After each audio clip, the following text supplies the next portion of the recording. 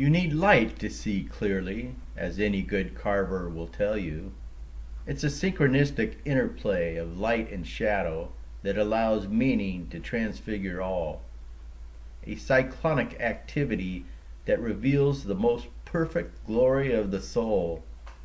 And these divine cogitations manifest a power within me that sings magic moments of vivid ecstasy when truth is realized.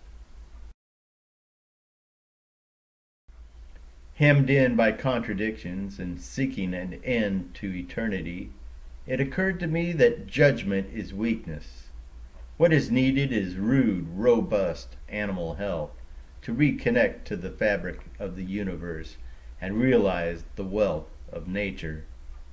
This is the happy destiny of man, whose very breathing produces sounds of magic our unspoken credential.